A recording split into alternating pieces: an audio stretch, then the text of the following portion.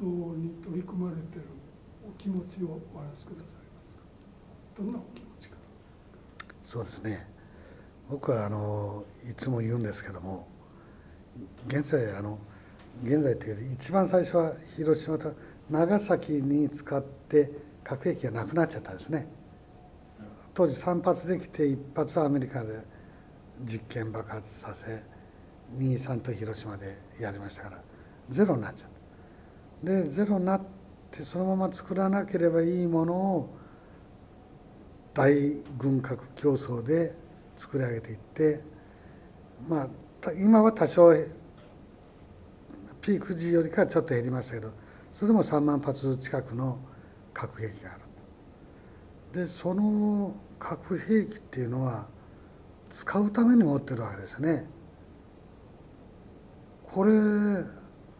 使わないんだったら作る必要ないわけですか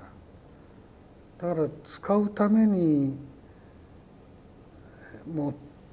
てるわけですからそうなりますとねあのこういうスウェーデン王立科学アカデミーが作った本85年の6月に世界で核戦争が起こったら人類と地球の運命どうなるかという仮説テーマで世界中の科学者がいろんな分野でこう論文書いた本ですけどもう大変なこのこの85年の6月に起こったとしたら本当世界がとうとう最後は核の冬になってゴキブリしか生きないということ、まあ、結論はそのようになってるんです。まあ、いうようなこともありましてだからあの今核兵器を持ってて戦争が起こったら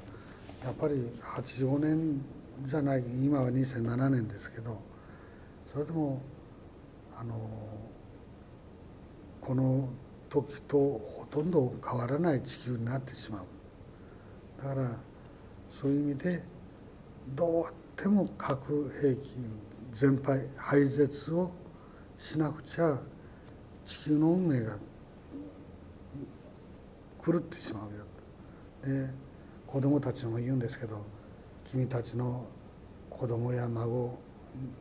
の時代に地球がむちゃくちゃになったらどうするか。だから私が話をしたのは60年前の話だけどその60年前のことが明日起こらないという保証はないんだよって。だからそのためにこのおじさんらが話をすることを自分の問題として掴んでほしいんだ。でこのようにあのノーベル賞を出す機関ですからね。そこが責任持って発行した本でもこのように地球の運命こうなるんだというのを書いてます。だからおあおっさん苦労したんだな。大変だったな。だけどわしには関係ないよっていう最初思ってた子供たちが最後には今のようなことを言うと目が輝きが変わってきますねで後から手紙なんかもらいますけど「よく分かりました」っていうふうに書いてくれる子どもたちが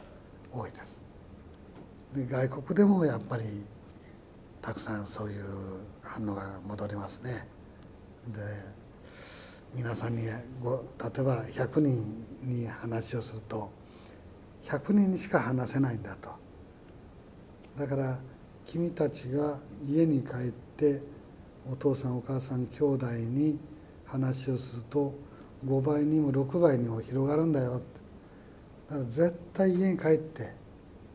聞いたことを学んだことを話をしてくださいとそうしたら核兵器をなくそうという声が世界中に広がるじゃないかと。それに私は期待をしているんですっていうことでお話しするんですけどね。あの人類の未来にはい。希望を持てそうですか？僕はそう思いますね。ただ今のこの自民党さんはちょっと顔面すぎますから憲法9条の会も僕らやってますけどどうも戦争が好きな世代の人たちがトップになりましたねただまあそれでもアメリカがあのように変わりましたのは僕もアメリカあの去年は 9, 9月15日から行って